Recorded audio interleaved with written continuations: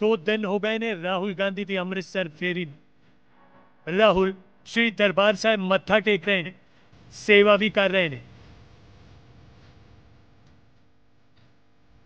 ਪਰ ਸਭ ਤੋਂ ਵੱਡੇ ਸਵਾਲ ਤੇ ਚੁੱਪ ਨੇ ਹਰ ਕੋਈ ਜਾਣਨਾ ਚਾਹੁੰਦਾ ਹੈ ਕਿ ਰਾਹੁਲ ਗਾਂਧੀ ਕੀ ਸੋਚਦੇ ਨੇ ਸ਼੍ਰੀ ਦਰਬਾਰ ਸਾਹਿਬ ਤੇ ਹੋਏ ਹਮਲੇ ਦੇ ਬਾਅਦ ਗੁਰੂ ਨਾਨਕ ਨਾਮ ਲੈਵਾ ਅਤੇ ਖਾਸ ਕਰ ਸਿੱਖ ਭਾਈਚਾਰਾ ਜਾਣਨਾ ਚਾਹੁੰਦਾ ਹੈ ਕਿ ਰਾਹੁਲ ਗਾਂਧੀ ਕੀ ਕਹਿੰਦੇ ਨੇ 1984 ਵਿੱਚ ਹੋਈ ਸਿੱਖ ਨਸਲਕੁਸ਼ੀ ਬਾਰੇ। ਪਰ ਰਾਹੁਲ ਉਸ ਪਵਿੱਤਰ ਸਥਾਨ ਤੇ ਵੀ ਕੁਝ ਨਹੀਂ ਬੋਲ ਰਹੇ, ਜੋ ਇਸ ਸਭ ਤੋਂ ਵੱਡੀ ਤਰਾਸਦੀ ਦਾ, ਸਭ ਤੋਂ ਵੱਡੇ ਜ਼ੁਲਮ ਦਾ ਗਵਾਹ ਹੈ।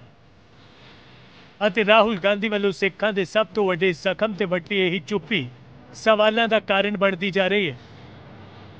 ਐਸਜੀਪੀਸੀ ਦੇ ਜਨਰਲ ਸਕੱਤਰ ਗੁਰਚਰਨ ਸਿੰਘ ਗਰੇਵਾਲ ਨੂੰ ਇਸ ਚੁੱਪੀ ਵਿੱਚ ਸਿਆਸਤ ਨਜ਼ਰ ਆਉਂਦੀ ਹੈ। ਉਹਨਾਂ ਦਾ ਕਹਿਣਾ ਕਿ ਗੁਰੂ ਘਰ ਵਿੱਚ ਹਰ ਕਿਸੇ ਨੂੰ ਆਉਣ ਦਾ ਹੱਕ ਹੈ। ਕੋਈ ਵੀ ਸਿੱਖ ਜਾ ਕੇ ਰਾਹੁਲ ਗਾਂਧੀ ਨੂੰ ਸਵਾਲ ਨਹੀਂ ਕਰ ਰਿਹਾ। ਉਹਨਾਂ ਨੂੰ ਸੇਵਾ ਕਰਨ ਦਾ ਵੀ ਹੱਕ ਹੈ। ਜੇ ਸੱਚੇ ਮਨ ਨਾਲ ਆਏ ਨੇ, ਤਾਂ ਸੇਵਾ ਜ਼ਰੂਰ ਕਰ। ਪਰ ਜੇਕਰ ਸਿੱਖਾਂ ਦੇ ਸਭ ਤੋਂ ਵੱਡੇ ਦੁੱਖਾਂ ਤੇ ਹਲਕਾ ਜਿਹਾ ਵੀ ਪਛਤਾਵਾ ਹੈ ਤਾਂ ਰਾਹੁਲ ਗਾਂਧੀ ਬੋਲਣ। ਕਿਉਂਕਿ ਨਾ ਬੋਲਣ ਦੀ ਵਜ੍ਹਾ ਫਿਰ ਸਿਆਸੀ ਹੀ ਹੈ। ਦੇਖੋ, ਇੱਕ ਤਸਵੀਰ ਹੈ ਕਿ ਇੱਕ ਬੰਦਾ ਜਿਹੜਾ ਨਹਿਰੂ ਤੇ ਗਾਂਧੀ, ਜਿਨ੍ਹਾਂ ਨੇ ਦੇਸ਼ ਦੀ ਆਜ਼ਾਦੀ ਵੇਲੇ ਜਿਹੜਾ ਰੋਲ ਅਦਾ ਕੀਤਾ, ਗੱਲ ਲੰਬੀ ਕਰੂੰਗਾ, ਉਹ ਬਹੁਤ ਲੰਬੀ ਹੋ ਜਾਏਗੀ।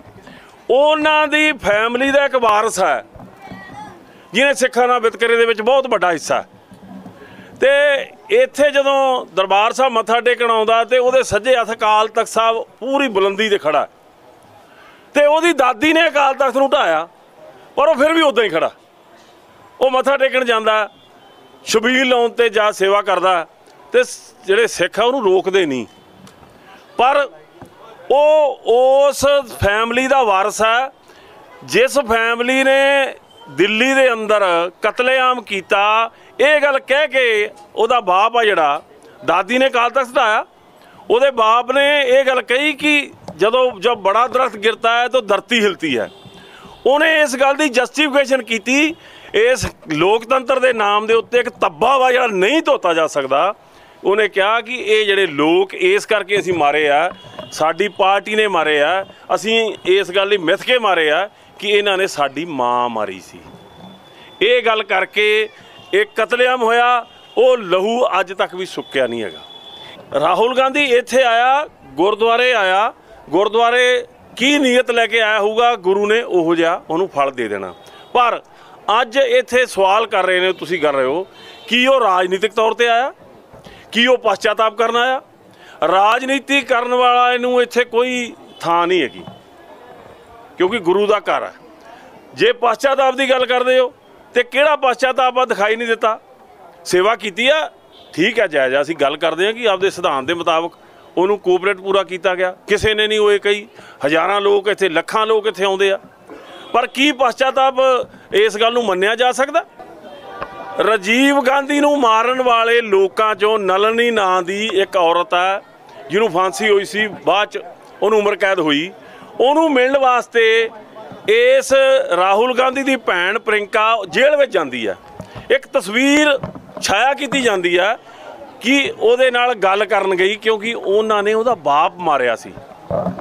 ਤੇ ਸਿੱਖਾਂ ਨੂੰ ਮਾਰਨ ਦਾ ਜੇ ਸਾਡੇ ਮਨ 'ਚ ਪਛਤਾਤਾਪ ਹੀ ਹੈ ਨਹੀਂ, ਜਿਹਨੇ ਉਹਦੇ ਬਾਪ ਨੂੰ ਮਾਰਿਆ, ਉਹਨੂੰ ਤਾਂ ਮਿਲਣ ਚਲੇ ਗਏ। ਪਰ ਕਦੇ ਵੀ ਵਿਧਵਾਵਾਂ ਦੀ ਬਸਤੀ ਵਿੱਚ ਜਾਣ ਦੀ ਜ਼ਰੂਰਤ ਨਹੀਂ ਕੀਤੀ। ਮਤਲਬ ਕਿ ਇਹ ਸਿੱਖ ਨੇ, ਇਹਨਾਂ ਦੀ ਗਿਣਤੀ 2% ਹੈ। ਉਹ ਨਲਿਨੀ ਜਿਹੜੀ ਸੀ, ਉਹ ਹਿੰਦੂ ਸੀ। ਇਸ ਕਰਕੇ ਉਹਦੇ ਨਾਲ ਉਹਨੇ ਆਪਦੀ ਭਾਵਨਾ ਜੋੜੀ ਆ ਕਿ ਇਹ ਲੋਕ ਜਿਹੜੇ ਆ, ਇਹਨਾਂ ਨੂੰ ਅਸੀਂ ਆਪਣੇ ਨਾਲ ਜੋੜੀਏ। ਕਿੱਡੀ ਵੱਡੀ ਰਾਜਨੀਤੀ ਹੈ ਮੈਂ ਫਿਰ ਕਹਿਣਾ ਦਰਬਾਰ ਸਾਹਿਬ ਆਏ ਲਈ ਰਾਜਨੀਤੀ ਨਹੀਂ ਕਹਾਂਗਾ, ਪਰ ਆ ਕੇ ਜਿਹੜਾ ਕੁਝ ਨਹੀਂ ਕਿਹਾ, ਉਹਦੇ, ਉਹਨੂੰ ਮੈਂ ਰਾਜਨੀਤੀ ਕਹਾਂਗਾ। ਉਹਦਾ ਜਵਾਬ ਚਾਹੀਦਾ ਸਿੱਖ ਮੰਗਦੇ ਆ, ਸਿੱਖ ਕਦੇ ਭੁੱਲਦੇ ਨਹੀਂ। ਦੂਜੇ ਪਾਸੇ ਸ਼੍ਰੋਮਣੀ ਅਕਾਲੀ ਦਲ ਦੇ ਆਗੂ ਵਿਰਸਾ ਸਿੰਘ ਬਲਟੋਆ ਨੇ ਵੀ ਇਹੀ ਸਵਾਲ ਕੀਤਾ ਉਹਨਾਂ ਕਿਹਾ ਕਿ ਰਾਹੁਲ ਗਾਂਧੀ ਸ੍ਰੀ ਅਕਾਲ ਤਖਤ ਸਾਹਿਬ ਤੇ ਜ਼ਰੂਰ ਜਾਣ। ਨਤਮਸਤਕ ਹੋ ਅਤੇ ਉਹਨਾਂ ਦੀ ਦਾਦੀ ਇੰਦਰਾ ਗਾਂਧੀ ਵੱਲੋਂ ਸਿੱਖਾਂ ਦੇ ਸਭ ਤੋਂ ਇਸ ਪਵਿੱਤਰ ਸਥਾਨ ਨੂੰ ਢਹਿ ਢੇਰੀ ਕੀਤੇ ਜਾਣ ਦੇ ਦਰਦ ਨੂੰ ਮਹਿਸੂਸ ਕਰਨ ਅਤੇ ਆਪਣੀ ਦਾਦੀ ਵੱਲੋਂ ਕੀਤੀ ਗਲਤੀ ਨੂੰ ਮੰਨ ਕੇ ਜਾਣ। ਮੇਰਾ ਸਵਾਲ ਇਹੀ ਹੈ ਕਿ ਰਾਹੁਲ ਗਾਂਧੀ ਜੀ, ਸਾਹਮਣੇ ਸ਼੍ਰੀ ਅਕਾਲ ਤਖਤ ਸਾਹਿਬ ਉੱਥੇ ਵੀ ਜ਼ਰੂਰ ਜਾਇਆ ਜੀ ਇਹ ਮੇਰੀ ਪਾਰੀ, ਮੇਰੀ ਪੀਰੀ ਦੇ ਪਾਤਸ਼ਾਹ ਸਾਹਿਬ ਸ੍ਰੀ ਗੁਰੂ ਹਰਗੋਬਿੰਦ ਸੱਚੇ ਪਾਤਸ਼ਾਹ ਜੀ ਦਾ ਜਿਹੜਾ ਸ਼੍ਰੀ ਅਕਾਲ ਤਖਤ ਸਾਹਿਬ ਸਿਰਜਿਆ ਹੋਇਆ ਹੈ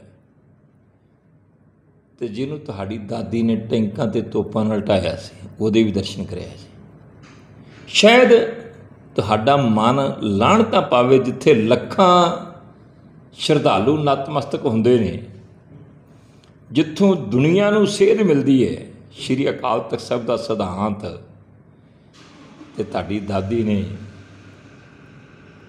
ਉਸ ਅਸਥਾਨ ਦੇ ਉੱਤੇ ਅਜਿਹਾ ਹਮਲਾ ਕੀਤਾ ਜਿਹਨੂੰ ਕੋਈ ਭੁੱਲ ਨਹੀਂ ਸਕਦਾ। ਤਾਂ ਪਰ ਜੇ ਤੁਹਾਡੇ ਮਨ 'ਚ ਸ਼ਰਧਾ ਹੈ ਇਸ ਸਥਾਨ ਪ੍ਰਤੀ, ਤੇ ਫਿਰ ਅੱਜ ਕਹਿ ਕੇ ਜਾਇਆ ਜੇ ਮੀਡੀਆ ਦੇ ਵਿੱਚ ਕਿ ਮੇਰੀ ਦਾਦੀ ਦੁਨੀਆ ਦੀ ਸਭ ਤੋਂ ਵੱਡੀ ਪਾਪਣ ਸੀ, ਜਿਨੇ ਸ਼੍ਰੀ ਹਰਮੰਦਰ ਸਾਹਿਬ ਤੇ ਟੈਂਕਾਂ ਤੇ ਤੋਪਾਂ ਨਾਲ ਹਮਲਾ ਕੀਤਾ ਸੀ। ਤਾਂ ਮੈਂ ਲਾਹਣਤਾ ਪਾਉਣਾ ਆਪਣੀ ਦਾਦੀ ਨੂੰ ਕਿ ਜੋ ਤੂੰ ਕਾਰਾ ਕਰਕੇ ਗਈ ਹੈ, ਕਿ ਮੈਂ ਤੇਰਾ ਖੂਨ ਹੈ। ਹਾਂਜੀ?